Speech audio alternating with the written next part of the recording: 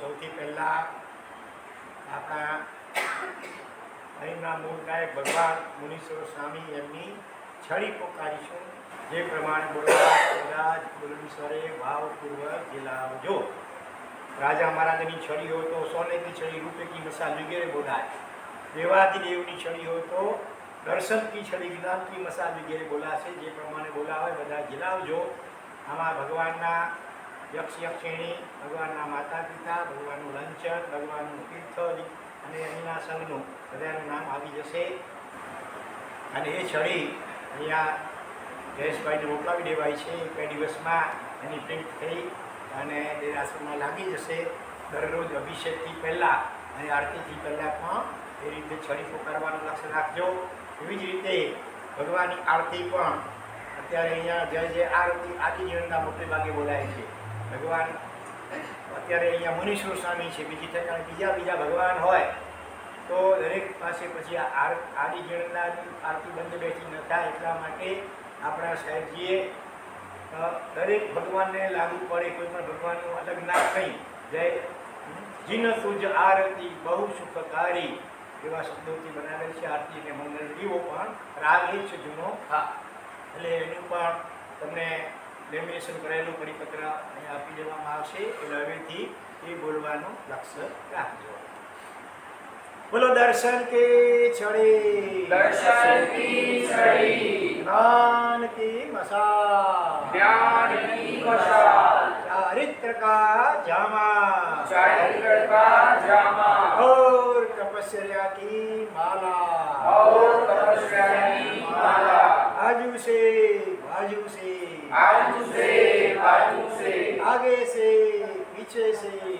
आगे से पीछे से। निगाहें रखो मेहरबान। निगाहें रखो मेहरबान। जीव दया प्रतिपालक। जीव दया प्रतिपालक। करुणाना सागर। करुणाना सागर। वात्सल्यना भंडार। वात्सल्यना भंडार। अनाथोना नाथ અનાથોના અનાથ જોષક ઇન્દ્રો દ્વારા પૂજી શોષણ ઇન્દ્રો દ્વારા પૂજી વરુણ યક્ષ ચુપ્તા દેવી પરિપૂજી।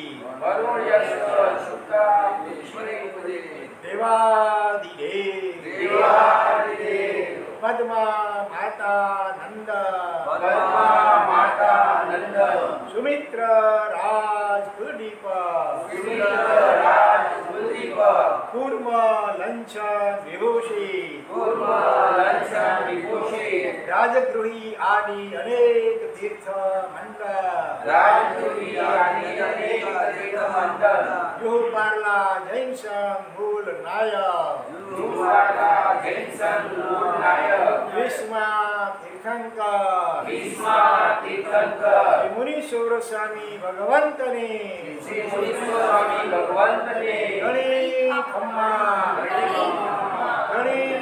ખમ્મા મારા નાક ને ઘણી ખમ્મા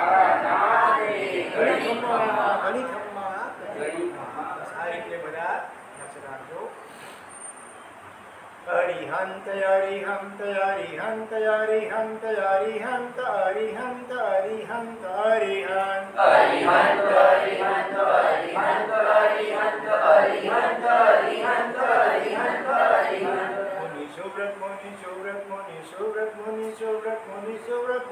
Surat Muni Surat Bhagavan. Muni Surat Muni Surat Muni Surat Muni Surat Muni Surat Muni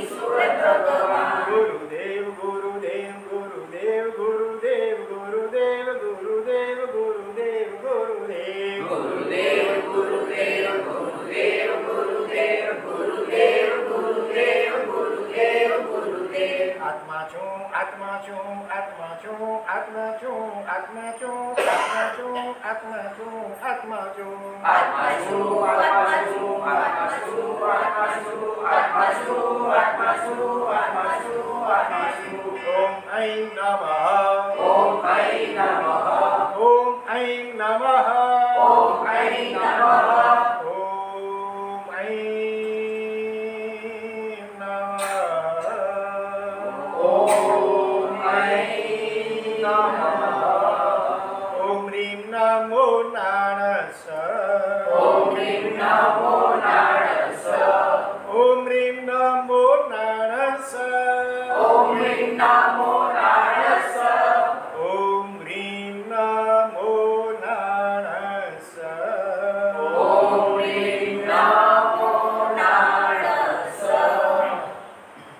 Kalyana pada para paramam tegang gangga himachalam નમો નાણસ ઓમ રીમ નમો નાણસ ઓમ રીમ નમો નાણસ ઓમ રીમ નમો નાણસ ઓમ રીમ નમો નાણસ કલ્યાણ પાદ પારામમ સુત ગંગા હિમાચલમ વિશ્વાંબુજ રવિન્દેવમ વંદે શ્રી જ્ઞાત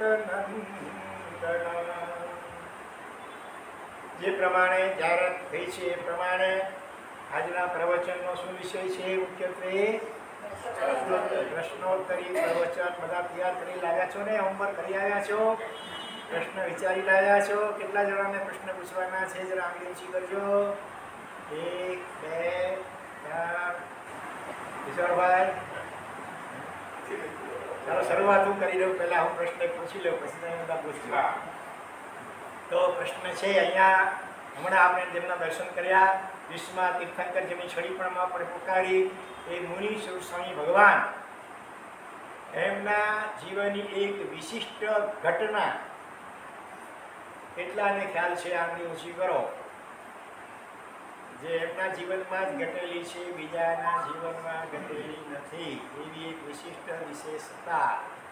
ભાઈ ઘોડાને ઘોડાને નથી હા. ઘોડાને અશ્વને નથી પૂછતા સાવાશ કેટલું યાદ કર્યું એક અહોરાત્રમાં બરોડા કે યોજન. એક યોજન એટલે ચાર ઘઉં. સાહીઠ યોજનો વિહાર એક અહોરાત્રમાં થયો. જીત શત્રુ રાજાનો પટ્ટ અશ્વ. મુખ્ય ઘોડો હા, એને પ્રતિબોધવા માટે મનુષ્ય સ્વામી ભગવાને આટલો લાંબો વિહાર કર્યો. તો ઘોડાના જીવે એવું તે કયું પુણ્ય બાંધ્યું હતું? એના ભાવમાં એણે શું કર્યું હતું? કે જેના કારણે એ પુણ્ય પ્રભાવે ભગવાનનો આટલો લાંબો ઘોડાને પ્રતિબોધવા થયો? એ ઘટના, એ કારણ ચાલશે કોઈને ઘોડાના જીવે પૂર્વ ભાવમાં શું પુણ્ય કર્યું હતું?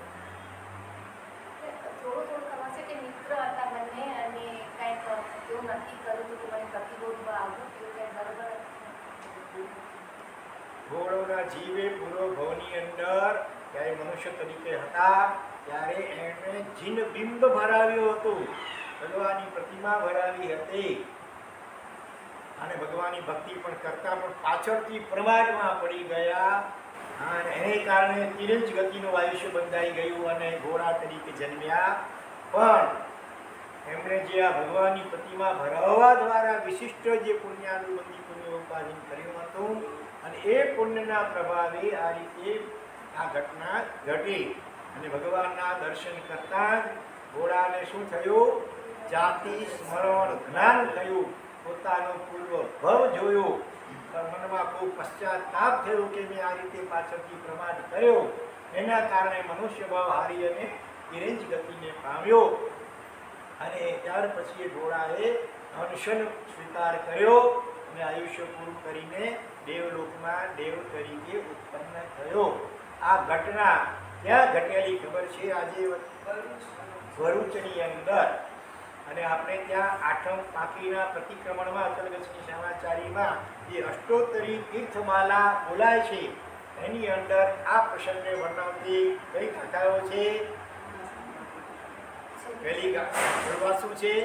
બરવત છે કોરંટગ સુભય જીય સત્કુતુર્ગ જાઈ સરો, અણસણ સુર આગંતુ જીણ મહિમ મકાસી કોદયમ અસ્સાવ મોહ તીર્થમ.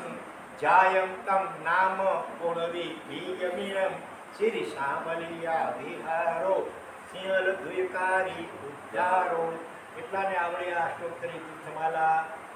એક, બીજા કોઈ? બે? પૂરી નહીં, ભલે. પૂરી નહીં તો રોટલી. તમારામાંથી કોઈને આવડે? ભલે. જો આ બે ગાથાનો સંક્ષિપ્ત આપણે વિચારીએ, ભરૂચ છે. એટલે ભરૂચ, બંદર ભરૂચ તીર્થમાં. ગુજરાતમાં અંગ્રેજી બધાને બ્રોચ કહે છે બિહારો એ છે ભરૂચ ભરૂચ તીર્થ, કોરંટગ. બરોબર છે કોરંટગ નામનું ઉદ્યાન એટલે બગીચો હતો. જ્યાં ઘટના ઘટી. બરોબર છે કોરંટગ સુબ્બય સુબ્બય એટલે સુબ્રત મુનિ સુબ્રત સ્વામી ભગવાન શોર્ટમાંથી શ્લોકમાં એટલે જીએ સત્તુ, એટલે જીત સત્રુ રાજા. બરોબર છે કોરંટગ જીએ સત્તુ તુરગ તુરગ એટલે ઘોડો ઘોડાને માટે જેમ અશ્વ શબ્દ સંસ્કૃતમાં છે એમ તુરગ શબ્દ પણ છે. તુર તુર એટલે ત્વરિત કામ બહુ શીઘ્ર ગતિથી ઘ એટલે ગમન કરી. ઘોડાની ચાર વખણાય તુરગ જાઈ સરો. જાઈ સરો એટલે જાતિ સ્મરણ જ્ઞાન થયું. તો ઘોડાને પોતાનો પૂરો ભવ જોયો. પછી અણ- અણસણ. અને પછી અણસન કર્યું. અણસણ સુર. સુર એટલે અણસન કરીને સુર એટલે દેવતા બન્યો. અણસણ સુર આગંતુ પાછો આવી કરી દેવલોકમાંથી પોતાનું અવધિજ્ઞાન દ્વારા પોતાના પૂર્વ ભવની આ ઘટના જાણી કરી અને ત્યાંથી નીચે આવ્યો ધરતી ઉપર. આવીને શું કર્યો? માણસોનું સ્વાગત હતું જીર્ણ મહિમ મકાસી જીનેશ્વર ભગવાન મુનિસુષણ ભગવાન, એમનો મહિમા એણે કર્યો.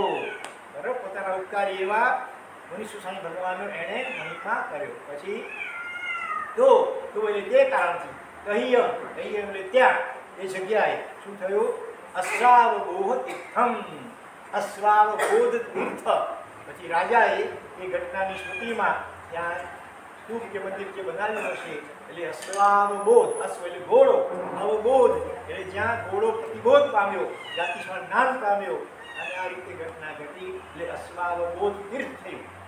પછી એનું આગળ જતા ભવિષ્યમાં એક બીજું નામ પણ પડ્યું એ તીર્થનું. હા? અશ્વાવ શું તીર્થમ અને બીજું મીનમ બીજું નામ આ પ્રમાણે થયું. શું થયું? શ્રી સમલિયા વિહાર, સામળી વિહાર. આ બીજું નામ સમળી વિહાર એ પણ પડ્યું. શ્રી સામલિયા વિહાર, સિંહલ ધુય કારી ઉદ્ધારો. સિંહલ સિંગલ દ્વીપ એટલે આજની લંકા જેને શ્રીલંકા કહો છો તે. પહેલા સિંગલ દ્વીપ તરીકે હતો. સિંગલ દ્વીપ એના રાજાની ધુયા એટલે દીકરી. એને કય ઉદ્ધારો. અને એ તીર્થનો ઉદ્ધાર કર્યો એની પાછળ પણ એક ઘટના છે ચમડી વિહારની. કેટલાને ખબર છે? ચમડી બિહાર તીર્થ કેમ બની ખબર છે? એક, બે, ત્રણ જણાને ખબર છે.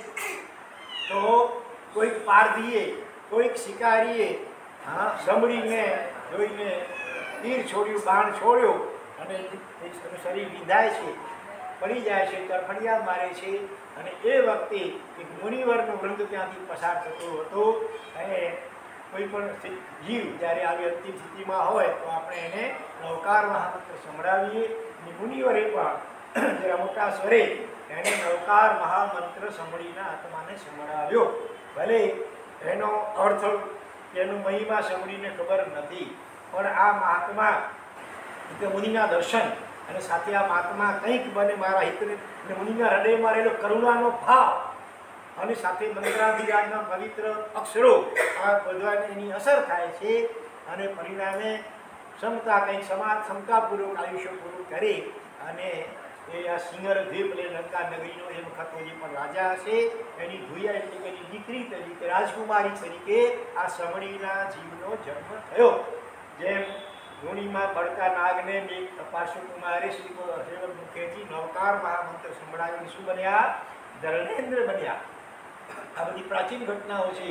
વર્તમાન કાળની પણ એક એવી ઘટના છે જે બનેલી તો એમપીમાં જબલપુરમાં પાછળથી એ બેન અંબરનાથમાં રહેતા હતા દ્રૌપદીબેન અમે એમને મળવા એમના ઘરે પણ ગયેલા. એમના મુખ્ય ઘટના સાંભળી. એક ગાયને એમણે અંતિમ સમયે નવકાર મહાપુત્ર અને સિદ્ધગીરીનું શરણ સંભળાવ્યું હતું. ગાય એમની પોતાની નથી બીજા કોકની હતી. બીમાર છે રથરિયા ખાતી ખાતી આવી કોઈના કમ્પાઉન્ડમાં પ્રવેશીને ત્યાં પડી ગઈ અને નવકાર મંત્ર અંગે સંભળાવ્યો એ ગાય બનીને દેવી બની. છ મહિના પછી એમના પતિ મહેન્દ્રભાઈ બીમાર હતા. ત્યારે ગાય દેવીએ દર્શન આપ્યા, આશ્વાસન આપ્યો, ચિંતા નહીં કરો, સારું થઈ જશે. તમે એને રાત્રે સુવા લેજો નિરાતે જે પીડાને કારણે ઊંઘ નહોતી આવતી પણ ઘસઘસાટ સુઈ ગયા. બીજે દિવસે મોડા ઉઠ્યા, એકદમ ફ્રેશ બીમારી ગાયબ થઈ ગઈ. પછી પણ એ દેવીએ બે વાર એમને પ્રસંગે પ્રસંગે દર્શન આપ્યા હતા. એમના સંતાન માટે ગાતની આગાહી કરી હતી એ પ્રમાણે બન્યો. અમદાવાદમાં ભણતી એમની દીકરી મકર સંક્રાંતિના પગલ પતંગ ચગાવતા ચગાવતા નીચે પડી ગઈ. આગાશી ઉપરથી અને મરી ગઈ અને છેલ્લે ફરી એકવાર દર્શન આપ્યા હતા. અને ગાય દેવીના દર્શન એ જે છોકરી મરી ગઈ હતી ને દેવી બની હતી.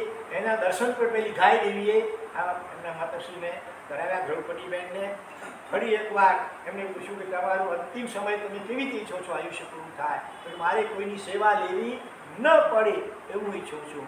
અને આખરે હાર્ટ ફેલ દ્વારા એનું આયુષ્ય પૂરું થયું હતું. પછી દ્રૌપદી બેનને અમે રૂબરૂ મળ્યા હતા.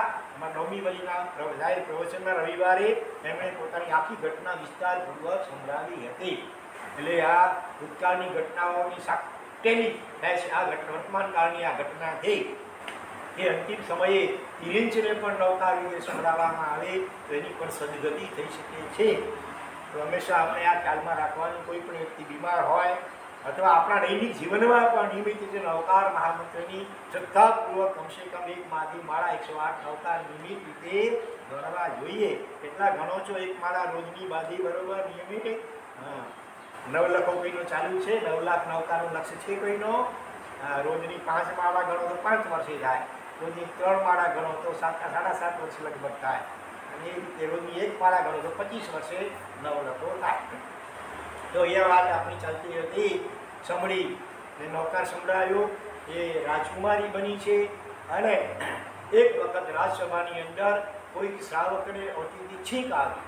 તો છીંક આવે ઘણી બધી છીંકો નહીં, પણ કેટલીક છીંકો ભવિષ્યમાં કોઈક અશુભ ઘટના બનવાની હોય ને, એના સંકેત સ્વરૂપે આવતી હોય છે. અશુભ જેવું ગણાતું હોય છે.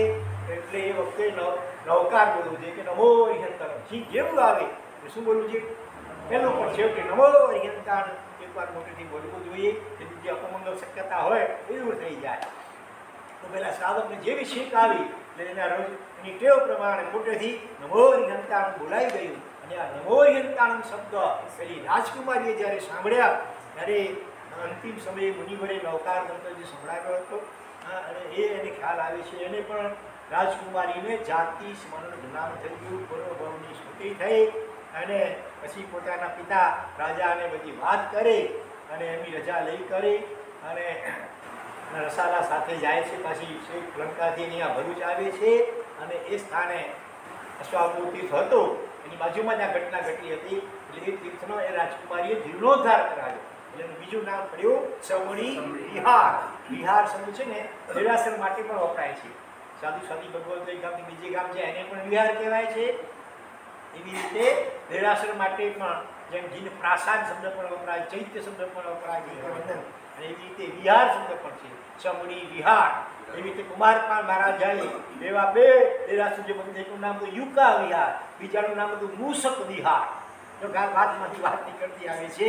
યુકા એટલે જુ એના રાજ્યમાં ખાસ કાયદો હતો કોઈએ નાના પણ જીવને મારવો નહીં માર શબ્દનો પ્રયોગ પણ કરવો નહીં. આજે વાત વાતમાં ફોન મારજે ને રિંગ મારજે ને ત્યાંથી લાઈટ લેફ્ટ મારજે ત્યાંથી રાઈટ મારજે ને. આ લેફ્ટમાં વળશે કે રાઈટમાં વળશે એમ પણ કહી શકાય. અને ફોન કરજે રિંગ કરજે એમ પણ કહી શકાય. એની બદલે વાત વાતમાં માર માર માર માર શબ્દ. કુમાર પારદર શબ્દમાં રાજ્યમાં માર શબ્દનો પ્રયોગ કર્યો એને પણ શિક્ષા થતી અને કોઈ જીવના પણ જીવ જંતુને મારવાનું નહીં. અને અને એમાં રાજાના ગુપ્તચરો પાછો આ કાયદાનું પાલન બરાબર થાય છે કે નહીં, એનું ચેકિંગ કરવા માટે ફરતા હતા. આજે સરકાર કાયદાઓ ઘડે અને મને છટકબારીઓ વેપારીઓ બધા શોધી લે. અને પછી પાછું કાયદાનું બરાબર પાલન થાય છે કે કેમ, એની માટે પણ જોઈએ એવી ચુસ્ત વ્યવસ્થા ન હોય. પણ કુમારપા રાજાના રાજ્યમાં ચુસ્ત વ્યવસ્થા હતી, ગુપ્ત વેશમાં ફરતા ગુપ્તચરોમાં જોઈ ગયા. એક માણસે આટામાંથી એની પત્ની સવાર બહાર સાફ કરતી જૂ નીકળી, બતાવી પહેલાં આમ આમ નખથી મારી નાખી. અને ઉદામાં રસ સિપાહીઓ પસાર થતા સામેથી જોઈ ગયા. પકડીને લઈ ગયા રાજા પાસે. અને આખરે એના પ્રાયશ્ચિત તરીકે ડેરાસર બંધાવડાવ્યો એની સંપત્તિ દ્વારા. એનું નામ રાખ્યું યુકા વિહાર. વિહાર એટલે ડેરાસર. યુકા એટલે જૂ. જૂને મારવાના પ્રાયશ્ચિત તરીકે બંધાયેલું ડેરાસર એ તો પણ ત્યાં રાખવામાં આવ્યો. એવી રીતે બીજો વિહાર કયો? મૂસક વિહાર. મૂસક એટલે ઉંદર એની ઘટના ખબર છે કોઈને? આગલા કુમારના રાજા રાજા બન્યાથી પહેલા. એનાથી કોણ હતા રાજા? બીજા સિદ્ધરાજ જયસિંહ. એની ગાડીએ પણ આવેલા છે. પણ સિદ્ધરાજ નતા ઈચ્છતા કે કુમારપાળ ગાડી આવે. એટલે એને મારવા માટે સિદ્ધરાજે સિપાહીઓ ગોઠવ્યા હતા. એ વખતે કુમારપા રાજા લપાતા છુપાતા હતા. જંગલની અંદર એક વખત હતા જ્યારે ત્યારે એક દ્રશ્ય જોયું. એક ઉંદર ડરમાંથી બહાર આવે, એક સોનામોર લઈ આવે. બહાર મૂકે, ત્યાં નાચ કરે. વળી અંદર જ્યાં બીજી સોનામોર લાવે એ બાજુમાં મૂકે, વળી નાચ કરે. આવું થોડુંક વાર આ દ્રશ્ય ચાલ્યું, રાજાને કુતૂહલ થયું. વળી સોનામોરો ભેગી થઈ ને એ ઢગલો એમ લઈને પોતે લઈ લીધો ઝાડની ઓથે છુપાઈને પાછળ રહી ગયા. બધા હવે શું કરે છે? પેલો સુંદર બહાર આવે છે. સોનામોર જોઈ નહીં.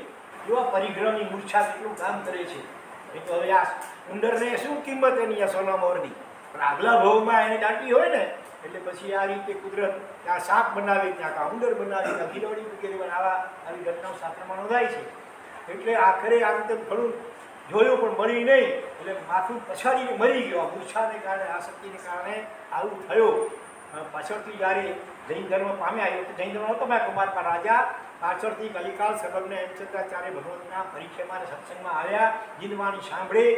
દયાનો, અહિંસાનો મહત્વ સમજ્યા મહત્વ અને સૂક્ષ્મ અહિંસા ખૂબ સુંદર પડાવી એમણે. પણ પોતાના ભૂતકાળમાં આ ઘટના ઘટી હતી એના પ્રાયશ્ચિત તરીકે એમણે દેરાસર બંધાયો. દેરાસરનું નામ પણ રાખ્યું ભૂષક વિહાર અને આખો શિલાલેખ લખાયો બરોબર?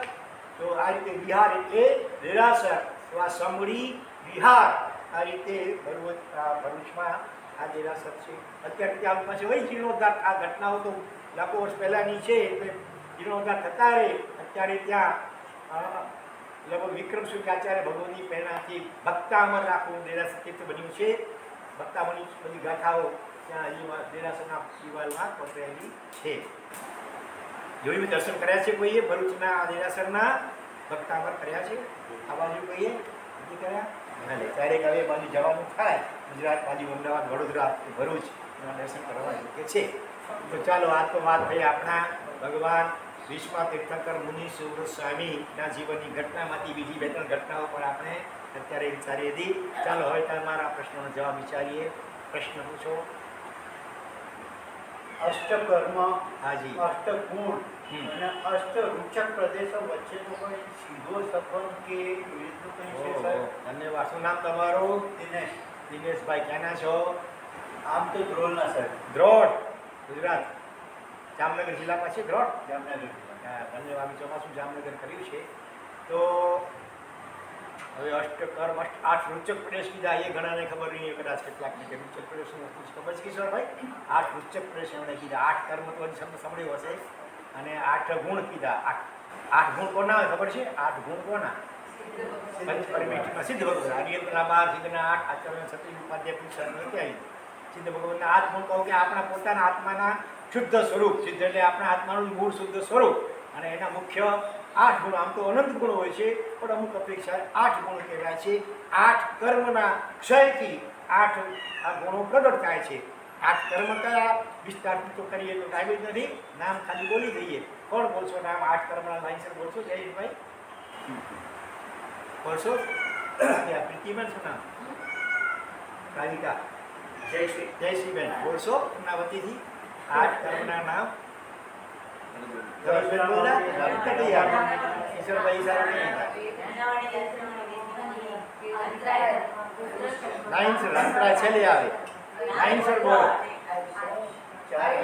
નાનાવર્ણીય દર્શનાવર્ણીય વેદનીય મોહનીય પછી શું આવશે પાંચમો પાંચમું આયુષ્ય છઠ્ઠું નામ સાતમું ગોત્ર આઠમું મંત્રાય શોર્ટમાં એક વાર્તા કહી દો યાદ રાખવા માટે.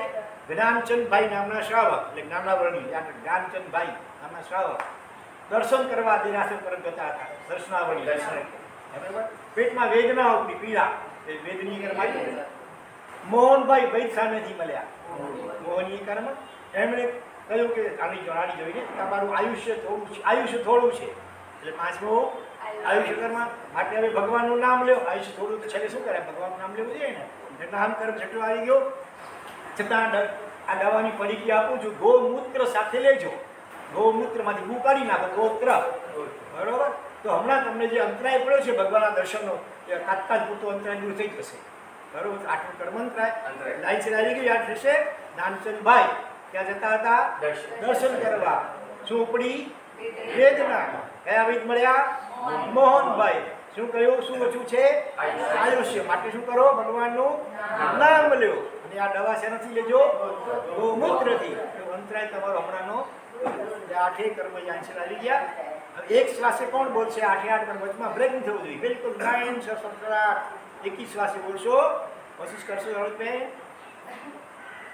તમે તો ઘણો અભ્યાસ કર્યો છે, ઘણી પરીક્ષાઓ આપી છે, જનરલ એમને જ્ઞાનમાં બહુ રુચિ છે. બોલો. મોહનીય એ કોપી કોપી ની ચાલે વાંધો નહીં મોટી મોટું બોલશે ધન્યવાદ બરોબર એક શ્વાસ બરોબર ને એવા પણ હોય છે બે સડન બે વાર નામ બોલી એકી શ્વાસે બે વાર નામ ટ્રાય કરશો જોથી દોઢમાં જેટલું થાય એટલું ટ્રાય કરો તો એકી સાથે બે વાર બોલું આઠે કર્મ નામ પચમા ટકા નહીં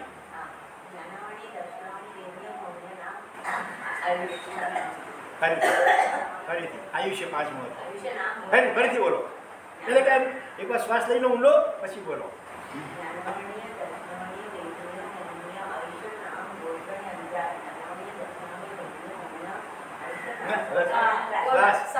વાંધો નહીં વાંધો નહીં.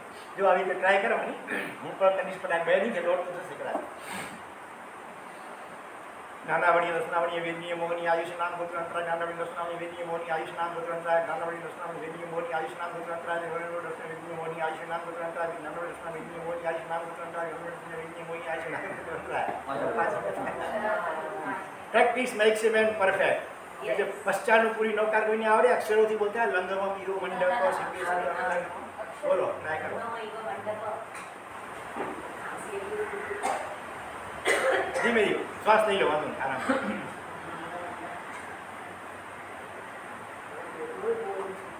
જો સચરણ લાગમમણો સણ આપો બપાવસ રોકામો તે પંચોય અનુસાવસ એ લો મોનો નંજા જાપ મોનો નંજા આ મોનો નંજા મોનો નંજા અંગરી મોનો લંગમંગીઓ મંડપ સિંગે સચરણ લાગમમણો સણ આપો પંચોય અનુસાવસ એ લો મોના. એટલે અક્ષરોથી, આ બધું પ્રેક્ટિસ બધું સહજ આપણે જન્મ્યા ત્યારે સીધો નવકાર ક્યાં આવડતો હતો એક અક્ષર નહોતું આવડતું. ધીરે ધીરે પછી કેટલું શીખી ગયા. જન્મ્યા ત્યારે એકડો નહોતો આવતો. હવે તો કેટલા આંકડા આ કે મોબાઈલ આવી ગયો નહીં તો તમે ઉઠાને ને અઢિયા ને દોઢા આપણા વડીલો પહેલાં. મોઢે કરતા હતા કે નહીં? પ્રેક્ટિસથી વધુ શક્ય છે. ચાલો.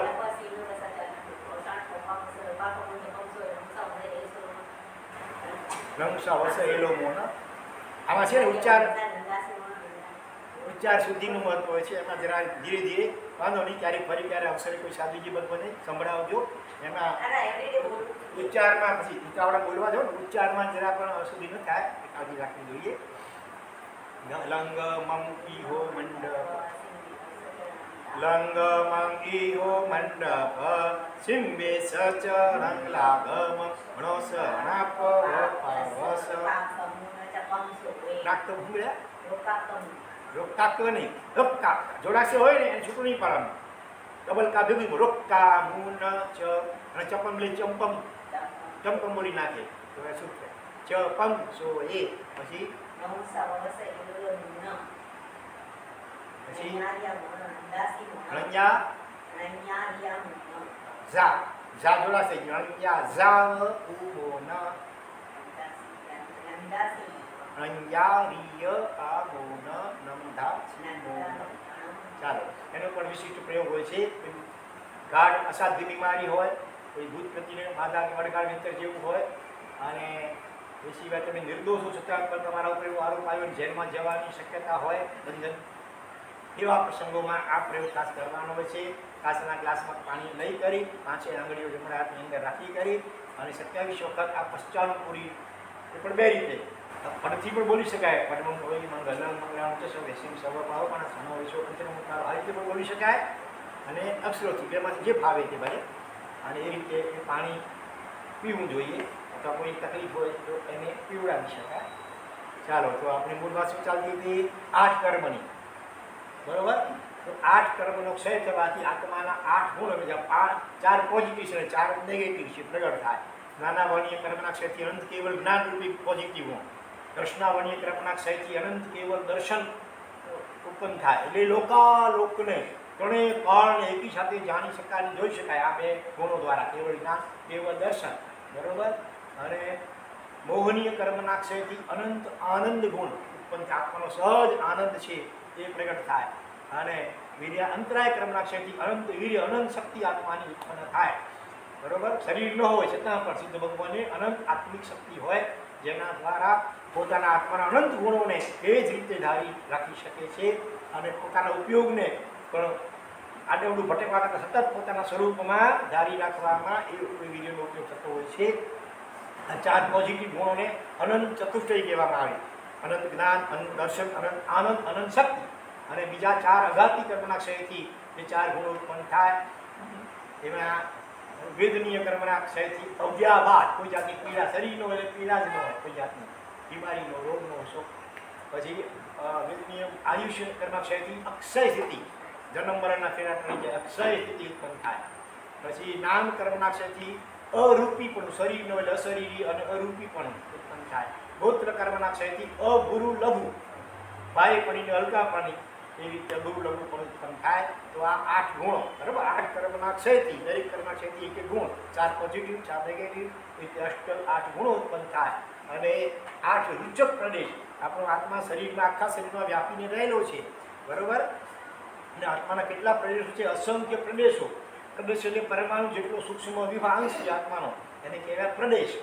અસંખ્ય પ્રદેશો. ચૌદ રાજલોકના જેટલા આકાશ પ્રદેશો, એટલા દરેક આત્માના અસંખ્ય પ્રદેશો આત્મપ્રદેશો હોય છે. અને એમાં પ્રત્યેક આત્મપ્રદેશો પર અનંત કર્મ પૂતગલો, કારમણ વર્ગણાના પૂજો ચોટેલા હોય છે. આઠ આત્મપ્રવેશો એવા છે કે જેના ઉપર ક્યારે ભૂતકાળમાં પણ કર્મ કોઈ લાગ્યા નથી, ક્યારે પણ લાગી રહ્યા નથી, ભવિષ્યમાં પણ લાગી શકવાના નથી. એ આઠ જે આત્મપ્રદેશો એને રૂચક પ્રદેશો કહેવામાં આવે છે.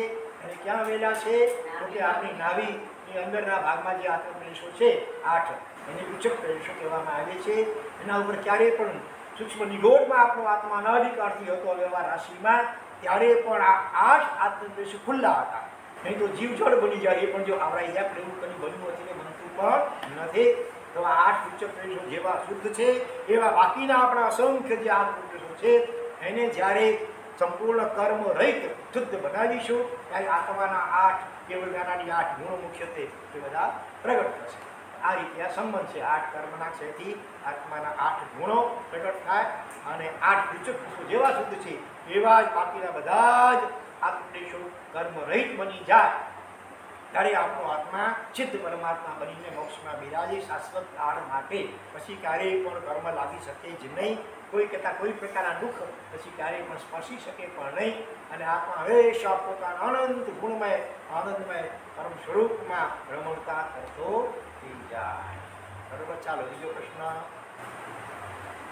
તેરાસોમાં પ્રવેશતી વખતે આપણે કહીએ છીએ નિશિહી અને નમો હાજી. એનો અર્થ એનો અર્થ નિશિહી એટલે નિષેધ. નહીં કરવું. ભગવાને વચન આપી ત્રણ વખત આ નહીં કરવું નહીં કરવું નહીં કરવું. બરોબર? શું નહીં કરો? તો કે સંસારના કોઈ પણ વિચાર મનથી માણીથી કોઈ બીજી વાતો નહીં કરું સંસારી અને કાયાથી બીજી કોઈ ચેષ્ટા કે પ્રવૃત્તિ નહીં કરું. આપના આપની ભક્તિ સિવાય. એ ત્રણ વા મન વચન કાયા ત્રણ યોગો છે. તો એનાથી સાંસારિક કોઈ વિચારવાની વર્તન ન- નહીં કરવું એનું ભગવાને આપણે કોલ આપીએ છીએ. પણ ખબર નથી અર્થ એટલે કોલ તો બોલી લઈએ. ઘણાને બોલતા મને ખબર નહીં બોલવું જોઈએ પણ ખબર નહીં હોય. ખબર હોય તો કેટલા આળસ વગેરે કરતા હોય પણ બનવાયો છે. પણ હવેથી આ ખ્યાલમાં રાખવાનું, ત્રણ વાર નિશી બોલવાની, ત્રણ ઠેકાણે બોલવાની હોય છે ખરેખર તો. પહેલાં બહારના કમ્પાઉન્ડમાં પ્રવેશ કરો ત્યારે પહેલી વાર ત્યાં. હવે સંસારના કોઈ વિચાર બીજા નહીં. બીજી વાર ત્રણ પ્રદક્ષિણા આપીને જ્યારે અંદર રંગબંધમાં પ્રવેશ કરો ત્યારે હવે હવે દેરાસરમાં ક્યાંય કચરો પડ્યો હતો પ્રદક્ષિણા આપતી વખતે ક્યાંય એ વખતે હજી પૂજાની સૂચના કરી શકાય વગેરે એની છૂટ હતી. હવે અંદરમાં પ્રવેશ્યા પછી અથવા કદાચ ગવારામાં પ્રવેશ્યા વખતે બોલી લઈએ. ત્રીજી બોલાય ચૈત્યવંદન વખતે. ચૈત્યવંદનથી પહેલાં. હવે ભગવાનની દ્રવ્ય પૂજા સંબંધી પણ વિચારની વિચારવાની વર્તન નહીં કરવું તમે સાથીઓ કર્યો હોય, પાછળ બીજા કોઈ કે આવી, તમારો સાથી જગ્યા નહોતી, એટલે સાથીઓ તમારો ચાપ કરી, ત્યાં પોતાનો સાથીઓ કર્યો. તમારે કંઈ બોલાય પણ કે જોવાય પણ ભગવાનમાં જ દ્રષ્ટિ તરફ દ્રષ્ટિ હોવી જોઈએ. એટલે એટલા માટે ત્રીજી વાર દરેક ઠેકાણે ત્રણ ત્રણ વાર ઋષિ ઋષિ ઋષિ બોલવું જોઈએ. આ એનો અર્થ છે. એનું પાલન ઓછું થતું હોય છે માટે આપણું મન ભટકે છે. ત્રણ દિશામાં જો ભગવાન સમય માત્ર જોવાનું હોય દસ મિનિટનું બરાબર જો પાલન કરવામાં આવે, તો આપણી આ ફરિયાદ કરવાનો અવસર ના રહે કે મારા જેમ કરી મન ભટકે છે ને મન ચંચળ છે ને. તો ઋષિ, અને સાથે નમો જીર્ણાનમ એનો અર્થ શું થાય? દેશભાઈ જીર્ણાનમ એટલે જીર્ણેશ્વર ભગવાન. તો એને જીન કેમ કહેવામાં આવે છે? જીન શબ્દનો અર્થ શું થયો? પ્રવીણભાઈ જીન એટલે શું? જીન એટલે જીતનારા. વિનર વિનર ઇંગ્લિશમાં કે જીતનારા. કોને જીતનારા? ક્રિકેટ મેચમાં નહીં પણ જીવન સંગ્રામમાં રાગ દ્વેષ અને મોહરૂપી મોટા મલ્લ મહાદોષો અનંતકાળના એના ઉપર સંપૂર્ણપણે જેમણે વિજય મેળવ્યો છે અથવા કહીએ તો પાંચ ઇન્દ્રિયો છઠ્ઠું મન એના ઉપર સો સો ટકા સંપૂર્ણપણે કાયમને માટે જેમણે વિજય મેળવ્યો, જીતેન્દ્રિય બન્યા વિતરાગ બન્યા માટે એમને જીન કહેવાય જી. અને એના અનુયાયી, એમની આજ્ઞા પ્રમાણે યથાશક્તિ જીવન જીવવા પ્રયત્નશીલ હોય એમને કહેવાય જૈન. જૈન શબ્દ જીન ઉપરથી બન્યો છે, બરાબર? જય જીનેન્દ્ર. હા. જીનો, જીન શબ્દ ઘણીવાર સામાન્ય કેવલી ભગવંતો માટે પણ એમણે પણ રાગ જીત્યા છે. તો તીર્થંકર ભગવાનના ચોથી અતિશય હોય, વાણીના પાંચે ગુણો હોય, અષ્ટમાં પ્રાતિહારે હોય, તીર્થની સ્થાપના કરતા હોય, એટલે એમને જીનેન્દ્ર, જીનોમાં ઇન્દ્ર સમાન. બીજા દેવતાઓમાં રાજાઓ ઇન્દ્ર કહેવાય, દેવેન્દ્ર કહેવાય. એમ જીનોમાં, જીન એટલે સામાન્ય કેટલી ભગવતો લઈ આવતો તો એના ઇન્દ્ર સમાન એટલે તીર્થંકર પરમાત્મા, જય જીનેન્દ્ર. બરોબર? પણ એક વાત જીનેશ્વરનો અર્થ એવો, જીનોમાં ઈશ્વર સમાન, એટલે જીનેશ્વર. એમાં એક વાત ખ્યાલમાં રાખવા જેવી છે. બરોબર? જીન માટે કેટલું વપરાય જીનાલય જીનાલય. જીનનું આલય એટલે ઘર. તો જીન જીનાલે કે જીનેશ્વર? આ ત્રણેયમાં જી જે હોય એ આમ રસ્વ એટલે ટૂંકો નાનો જેને કે એ લખાય એ પછી નીચે આમ પાનવાળી આ રીતે જી આમ હા, એ રીતે દીર્ઘ લખાય. બોલો એનો શું જવાબ? રસ્વ. એમ ઉપર આમ બરોબર પ્રવીણભાઈ એમ જ છે કે બીજું કંઈ છે? એ ખબર નથી. મને ખબર નહીં એવું હોય. બરોબર? બે જાણા હમણાં જાણાવી પછી વિચારી લો શું કહું છું બહેનો બધા રસ્વ આમ હોય? ઉપર હોય કે આમ લખાય? રસ્વ લખાય આમ લખાય ને? દીર્ઘ. દીર્ઘ લખાય રસ્વ લખાય. સાચો જવાબ છે રસ્વ લખાય દીર્ઘ ન લખાય. ઉપર આમ જાય એક લખાય. નીચે આમ વળે, એક ન લખાય. શા માટે? જો ધારો કે આમ તમે દીર્ઘ લખો જીડી ના લે. બરાબર તો આખો અર્થનો અનર્થ થઈ જાય જીન. જીન કોણ કહેવાય ખબર છે? જીન એટલે ભૂત પ્રેત પ્રકાર છે. વેંતરોના આઠ પ્રકાર, આ વેંતર વાંવેતરના પ્રકાર હોય છે અલગ અલગ એમાં બહુ ભયંકર કોટીનો હોય છે. જીન. જીનાત પણ એને કહે છે. એ જે વળગે ને, તો પ્રાય પ્રાણ લીધા આગળ છોડે નહીં. બહુ ભયંકર હોય છે. તો એ જીન એટલે આ ભૂત પ્રેતનો એક પ્રકાર અને એનું આલે એટલે ઘર. એટલે ભગવાનના ઘરને બદલે આ ભૂત પ્રેતનો જીનનો ઘર થઈ ગયો. આવું વિચિત્ર ઉટોળ થઈ ગયો. એટલા માટે આ ખાસ ખ્યાલ રાખવા જેવું છે. આજે બહુ ઓછાને આ ખબર હોય છે. એટલે ઘણા નિરાશો વગેરે જોઈ છે મોટે ભાગે આ જીન દીર્ઘ લખેલું હોય. અને બહુ મનમાં પીડા વેદના ક્યાં કહીએ વ્યાખ્યાના ક્યારેક કહીએ હવે. એટલે ખ્યાલ ન હોય તો એવી રીતે. હવે તમે જ્યાં પણ જાઓ તમે જુઓ તો જે ટ્રસ્ટી અધિકારી ધ્યાન દોરજો કે ભાઈ આ ન ચાલે આ સાંભળ્યું છે આ પ્રમાણે આ આવું વિચિત્ર થઈ જાય અને વહેલી તકે સુધારી લો. બરોબર? અહીંયા તો એવું નથી ને કે એવું? જય જીનેન્દ્ર. જય જીનેન્દ્ર. બરોબર? જીનેન્દ્ર જીનેશ્વર જીનાલય જીન દરેકમાં જી રસ્વ. ચાલો પછી પ્રશ્ન. હા તો નમો જીણાણ જીનેશ્વરોને નમસ્કાર. જેમણે રાગ જીત્યા, એવા બહુવચન જીણાણ બહુવચન છે આ એવા જેટલા ભૂતકાળમાં અનંતા થઈ ગયા, વર્તમાનમાં માવિડીમાં વીતી રહ્યા છે, ભવિષ્યમાં જેટલા અનંતા થવાના છે, ત્રણેય કાળના અનંતા અનંત જીનેશ્વરજીનોને નમસ્કાર. આવો, શા માટે મારે પણ જીન બનવું છે એમના જેવા? એ સિવાય આપણા દુઃખોનો અંત આવવાનો નથી. બાકી ગમે એટલા રૂપિયા ભેગા કરશો, અહીંના, અહીં રહી જવાના. બરોબર ને? ઈજ હલ્યા વિનબો ભેડી ઈજ છડે ને વેચે જઠો ન કોઈ મતે, ગઠરી બંધે ને. બેરો કરીને જાન મથે, ભાર પાકયું સંસાર જે સાગર મે બેનો ઈજ ડોબે ને. ઈજ હલ્યા વિનબો મેળે, ઈજ છડે ને. બેંધે જઠો ન કોઈ મતે, ગઠરી બંધે. હા, પણ છતાં જવું એક ઉપાય છે. લઈ જવા છે રૂપિયા. પરલોકમાં ભેગા. એક ઉપાય છે, જો તમે ફોરેન જાઓ ને, ત્યાં તમારે રૂપિયાની કરન્સી નહીં ચાલે. તમારે ડોલર વગેરેમાં કન્વર્ટ કરવા પડે, તો પછી એ તમારા કામ આવે ને. તો જેવી રીતે આ હોમાં જે પુણ્યના યોગે જે કાંઈ પણ સંપત્તિ, લક્ષ્મી વગેરે મળી હોય, એ આમ કરલોકમાં સાથે ચાલતી નથી. અને કન્વર્ટ કરી નાખો, તો પછી ચાલી શકે. જેમાં કન્વર્ટ કરવું પડે પ્રવીણભાઈ? જેમાં કન્વર્ટ કરીએ ચાલે? પુણ્યમાં. અને પુણ્ય શેનાથી બંધાય? સારા કાર્યોમાં લક્ષ્મીનો સદવ્યય કરીએ, બરોબર? જિનાલય, હા, જિનાલય, જીન, સાત ક્ષેત્રો છે. જીન મંદિર, જીન પ્રતિમા, જીન આગમ, સાધુ, સાધી શ્રાવક સાધિકા આ સાત મુખ્ય ક્ષેત્રો. સત ખેતર ક્ષેત્ર એટલે ખેતર. કચ્છ મેં ખેતર હે ને? એટલો દાણો મોખ્યો હજાર દાણા હોય. બરોબર ને? એ સત ખેતર એડાય. એમાં એક રૂપિયો વાવો ને અનંત ગણું ફળ મળે. એવા સાત ક્ષેત્ર ઉપરાંતમાં જીવડ્યા વગેરે પણ લઈ શકો. તો આ રીતે પોતાની સંપત્તિનો આવા સારા કાર્યોમાં, સાધુ સ્વામીની વૈયાવત ભક્તિમાં સાધનની ભક્તિમાં વગેરેમાં જીનારાય ઉપાશય વગેરે બંધાવવામાં જે સદવ્યય કરે, તો એ ઓટોમેટિક એવું વિશિષ્ટ પુણ્ય. અને પુણ્યના બે પ્રકાર, પુણ્યાનુબંધી અને પાપાનુબંધી પુણ્ય. તો પુણ્યાનુબંધી એટલે જેની પાછળ આપણો કોઈ સાંસારિક આશય ન હોવો જોઈએ દાન આપવા પાછળના ચાલી બદલના જીવે ખીર ઓરાવી તો નવાણું પેટીઓ આવી, તો હું પણ ઓરાવું એ નવાણું એકાદ પેટી તો આવે, એકાદ આકાશનો બોક્સ કરાવી એટલે એની કોઈ આશંસા, અપેક્ષા, ઈચ્છા રાખવી નહીં. નિષ્કામ ભાવે, નિષ્પૃહતાથી અનુમોદનાના ભાવપૂર્વક સંયમી આત્મા છે, અથવા જે પણ દેરાસર જે પણ સારું એના જે ગુણો, એના જે ઉપકારો હોય, એને નજર સામે રાખી કરી, એના જેવા ગુણો આપણામાં પણ આવે, એવી ભાવના માત્રથી પણ બીજા કોઈ સાંસારિક કામનાથી નહીં. જો જીવ આવા શુભ ભાવથી, શુભ આશયથી નિષ્પૃહ ભાવથી જો દાન આપે, તો પુણ્યાનુબંધી, કાલી પુણ્યની અનુબંધ પણ પુણ્યનો, એટલે પુણ્યની પરંપરા ચાલે. એ પુણ્ય ઉદયમાં આવે જ્યારે ત્યારે જે સંપત્તિ મળે, એનું વ્યસન કે મહોત્સવમાં વેડફવાનું મન ન થાય, પણ વળી પાછા નવા સારા સુકૃતો કરવામાં એ સંપત્તિનો સર્વે કરવાના સારા ભાવો સહજપણે જાગે. કાલીભદ્ર વગેરેની જેમ. નહીંતર પછી મમ્મર શેઠની હાલ થાય.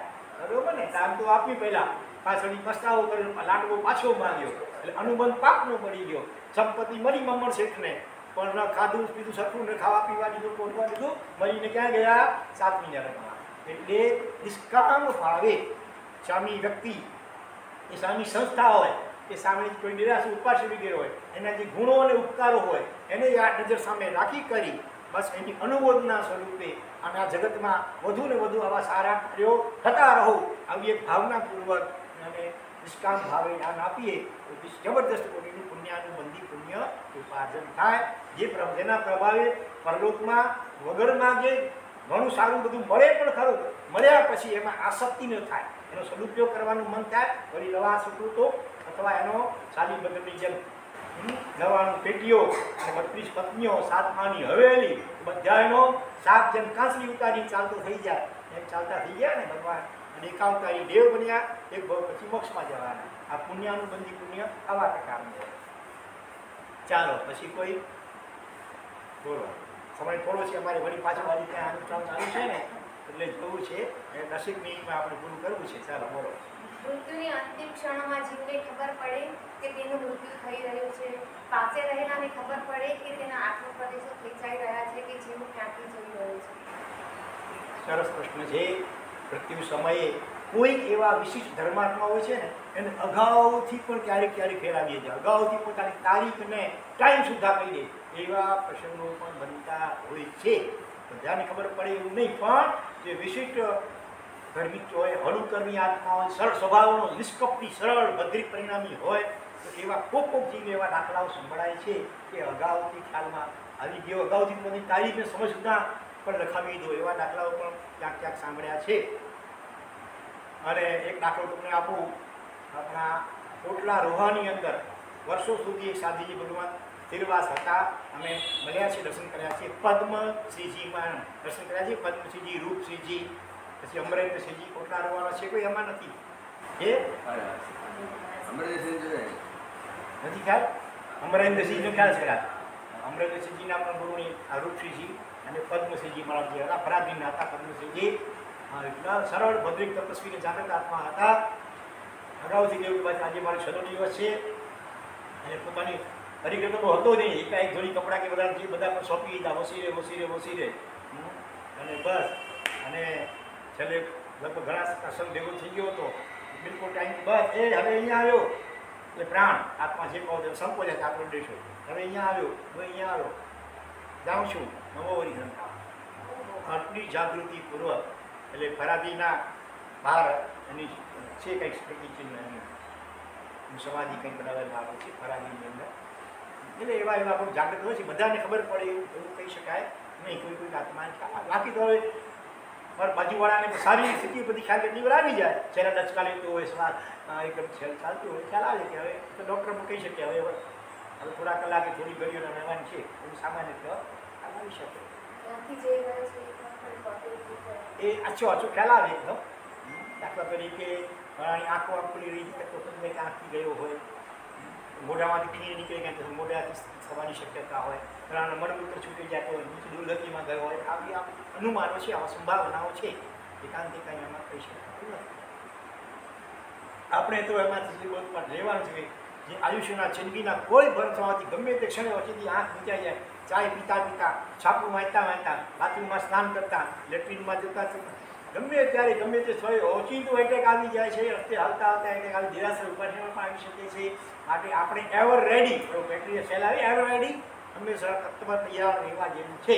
કુમારમાં રાજાને રાજકીય ખટપટને કારણે પહેલો અજયપાળ એણે ભોજનમાં ઝેર અપાવી દીધું ષડયંત્ર કરીને.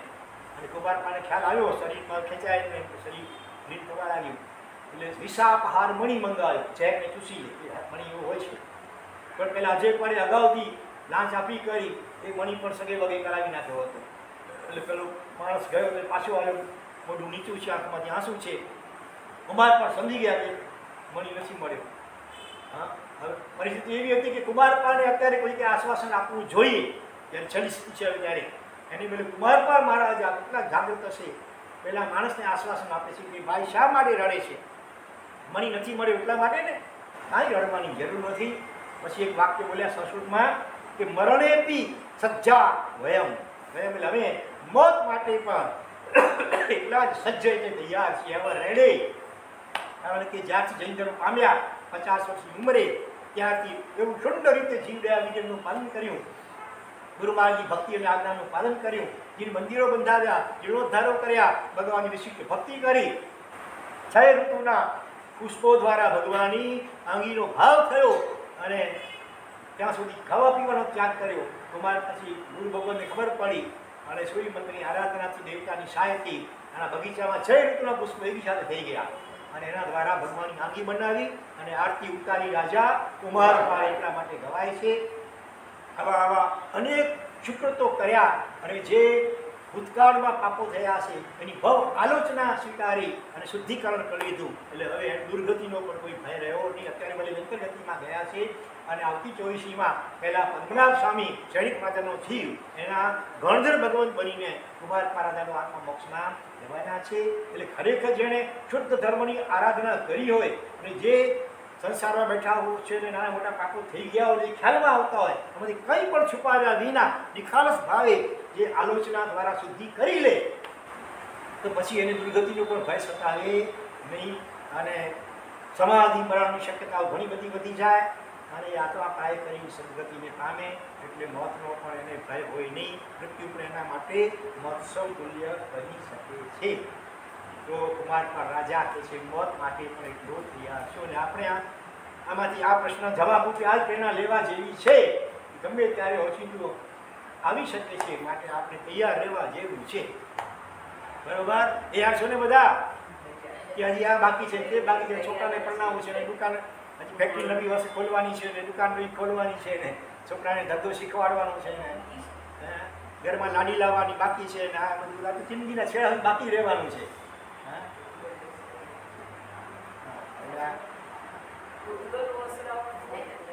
ઉદ્ગલ વસીરાવાની વિધિ એટલે શું? ભવો ભવના ઉદ્ગલ. આપણે અનંત ભૂતકાળ અનંત ભવ કરતી ભટકતા આવ્યા છીએ. દરેક ભવોમાં અંતિમ સમયે સુધી પણ આપણે આપણી મમતા, મૂર્છા, આસક્તિ, રાગ શરીર ઉપરનો રાગ, પછી બંગલા જે પણ હોય આપણું ફર્નિચર પતિ ઉપરનો રાગ જમીન ઉપરનો રાગ, પરિવાર ઉપરનો રાગ, અને સુધી આપણે હોશી રાખતા નથી. અને એની આસક્તિમાં ને આસક્તિને મરી જઈએ છીએ.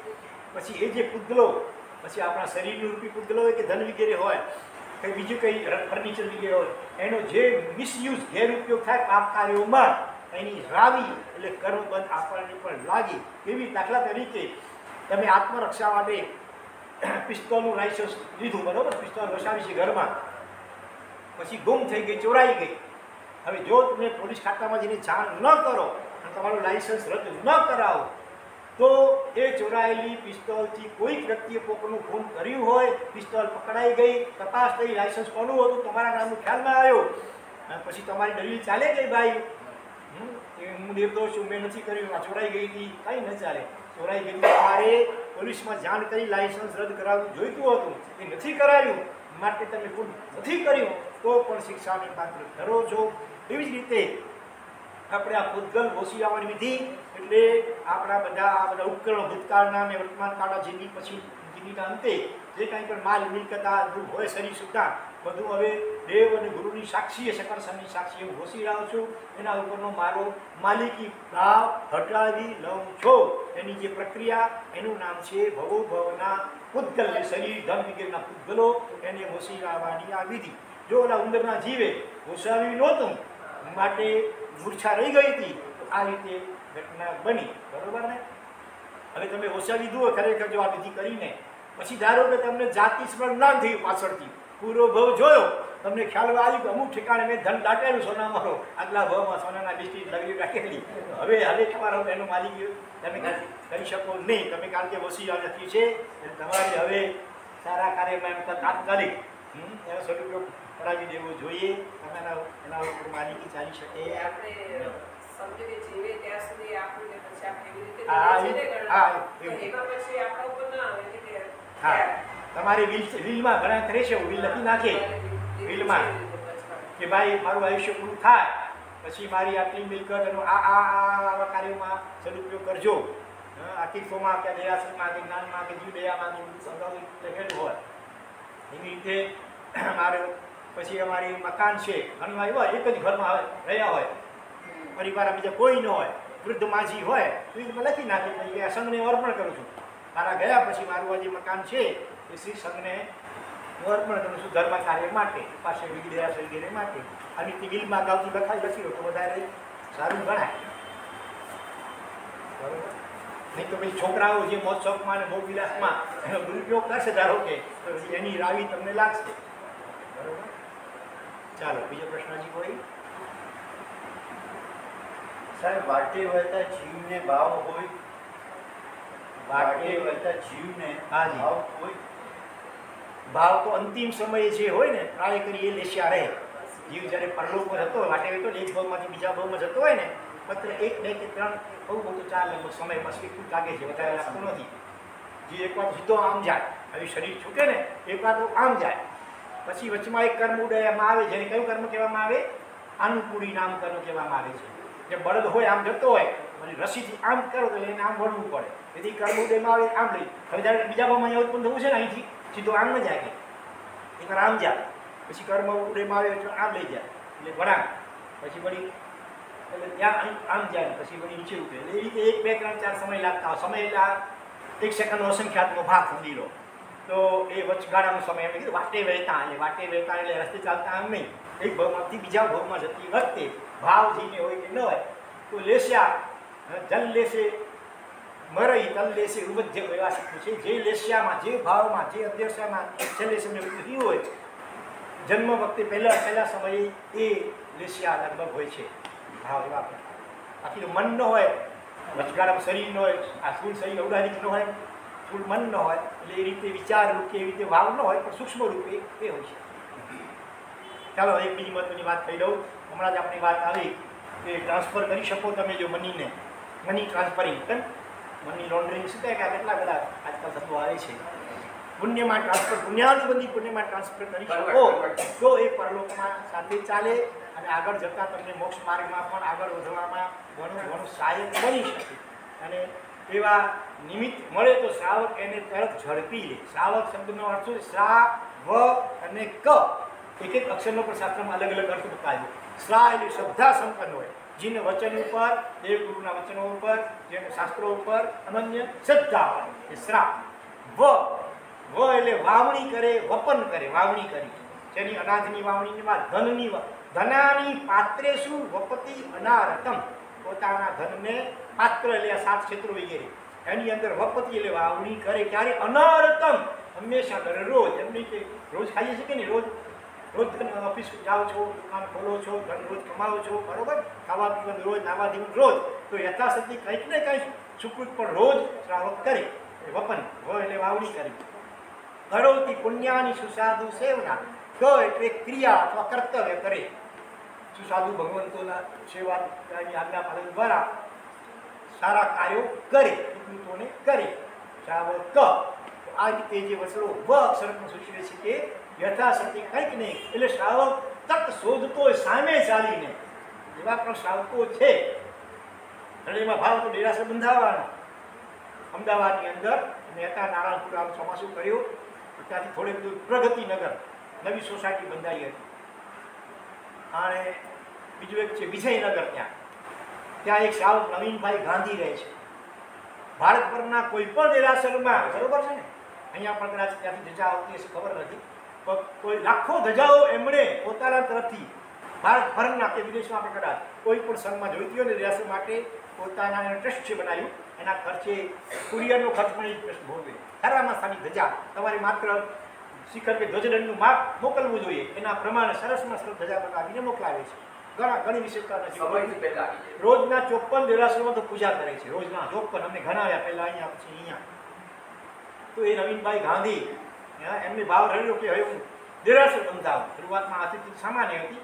જ્યારથી ભાવ થયો ને, ઉત્તરોત્તર આર્થિક સ્થિતિ સુધરતી ગઈ અને પછી એ મોકો શોધવા લાગ્યા ત્યાં એવો મોકો મળે દેરાસર બંધાવવાનો તો વિજયનગરમાં તો આ ઘર ને આ સામે દેરાસર પણ એનાથી થોડેક દૂર બે ત્રણ કિલોમીટર પ્રગતિ નગર, ત્યાં નવી નવી જૈન સોસાયટી વસી હતી. તો એમને વાયા વાયા સમાચાર આવ્યા કે ત્યાં દેરાસરની જરૂર છે. એટલે સામે ચાલીને ત્યાં ગયા, ત્યાંના ટ્રસ્ટીઓને મળ્યા અને વાત કરી કે મેં એવું સાંભળ્યું છે કે તમારે ત્યાં દેરાસરની જરૂર છે. કે હા. તો મારી એવી વિનંતી છે કે તમારો શ્રી મને આ સંપૂર્ણ લાભ આપે. હું ઈચ્છું છું કે સ્વગ્રહથી આખું જે શિખરબદ્ધ દેરાસર બંધાવી તમારા શ્રી હું અર્પણ કરું. એટલું જ નહીં. અને પ્રતિક્ષા આનંદ સલાહકારનો જે ખર્ચ મહોત્સવ હોય, પાંચ ચાર દિવસ, બધો લાભ પણ હું લઉં સાધુની ભક્તિ બધું એટલું જ નહીં. ભવિષ્યમાં જે પણ જરૂરિયાત આ નિભાવવા માટે જરૂરિયાત પડે બધો જ લાભ શ્રી સંઘ મને આપે. યાવત કાજો આપવા માટે સાવરણી અને સુપડી સુધારો લાભ પણ શ્રી સંઘ મને આપે. આવા ભાવો સામેથી વ્યક્ત કર્યા. એટલે સ્વાભાવિક છે હવે આ કોણ ના આવી હતી? રાજી થઈને સ્વીકાર કરવામાં આવી હતી અને એ રીતે એમણે સ્વદ્રવ્યથી પ્રગતિનગરમાં જિનાલય બંધાવી સંઘને અર્પણ કર્યું. એટલું જ નહીં સુરત પાસે, અડાલજ પાટિયા પાસે પણ એમને ચા વિમલના ભગવાન મોટા પંજાબના તેલમાં એ પણ એમણે સ્વદ્રવ્યથી ભરાવ્યા છે. એટલે આ રીતે સામે ચાલીને એ તક શોધતા હોય શ્રાવક, બરાબર? તો અત્યારે જયેશભાઈને ખ્યાલ છે. એ પ્રમાણે આપણે કચ્છી સર્વોદય નગર, ખબર છે? ચંબુની પાસે કચ્છી સર્વોદય નગર, ત્યાં ચાર મોટી બિલ્ડિંગો છે, ચાર ટાવર જેને કહો તમારી ભાષામાં. અને ત્યાં ત્યાં હમણાં જ દેરાસર આપણે ઉપાશ્રય લેવામાં આવ્યું છે. અપેક્ષાએ દેરાસર કરતાં પણ ઉપાશ્રયમાં અપેક્ષાએ બહુ વધારે લાભ હોઈ શકે, કારણ કે ત્યાં ચતુર્વિસંગ આરાધના કરે, સાધુ સાધી ચોમાસા થાય, વ્યાખ્યાનો ધીરવાણીનું શ્રવણ કરાવાય, સામાયિક પ્રતિક્રમણ, ઔષધ વગેરેની આરાધનાઓ થાય. વિશેષ લાભનું કારણ છે. તો ત્યાં હમણાં જ આખું બે રૂમ ને એક હોલ, એ રીતે ત્યાં અત્યારે લગભગ સો સો કેટલા કેટલા ફૂટ કાર્પેટ એરિયાનું બે કરોડના ખર્ચે લેવામાં આવેલું છે. અને એક મુખ્ય દાતા છે ભલે બાકીના ખર્ચને પહોંચી વળવા માટે ત્યાંના શ્રી સંઘે કૂપન યોજના બહાર પાડી છે. નાનકડી યોજના છે બે હજાર રૂપિયાનું એક કૂપન. અને એ રીતે કમસે કમ અઢાર, છત્રીસ કે ચોપન કૂપન. બરાબર? કૂપન. તો જે સંઘ અથવા કોઈ વ્યક્તિ પણ જે લાભ લે, એની નામાવલી ત્યાં રહેશે. તો એ રીતે આ એક તમને ખાલી જાણ ત્યાં સંઘે અમે ત્યાં રોકાયા હતા અઠવાડિયું. એકદમ શાંત એરિયા આપણે આયન જાણે રહેવાનું મન થઈ જાય એટલે કોઈ આ ટ્રાફિકનો ઘોંઘાટ નહીં, હવાનું કોઈ પ્રદૂષણ નહીં આજુબાજુમાં એકદમ શાંત વાતાવરણ, આરોગ્યના માટે સુંદર સ્થાન છે. ત્યાં મુનિશોષણ ભગવાન ત્યાં ગૃહ જિનાલય છે અને ભવિષ્યમાં શિખરબદ્ધ જિનાલય માટે પણ ત્યાં જગ્યા છે. અને એ એ પણ આ એક જ પરિવાર ગીતા સ્મૃતિ પરિવાર. એમની ભાવના છે કે આખું જિનાલય અમારી બંધાવી શિક્ષણને અર્પણ કરવું. ઉપાસે પણ વિશાળ ભવિષ્યમાં બીજો પણ બનવાનો છે. એ વખતે બધા દાતાઓની નામાવલી ત્યાં પણ પછી રહેશે પછી તો એ રીતે અત્યારે હવે સમય આઠ વાગી ગયા છે અમારે હમણાં નીકળવું છે જરા જલ્દી તમે લાભ લેવો હોય ફટાફટ બરોબર જેમને બી કૂપનમાં લખાવા હોય નામ તો જરા ચોપન દો. કૂપન અઢાર કૂપન અને ઓછા જેટલા પણ લખાવા હોય દસ કૂપન પાંચ કૂપન વગેરે તો એ પણ લખી શકો છો જો શરૂઆત કરો પૈસાની બસ, કૂપન આવે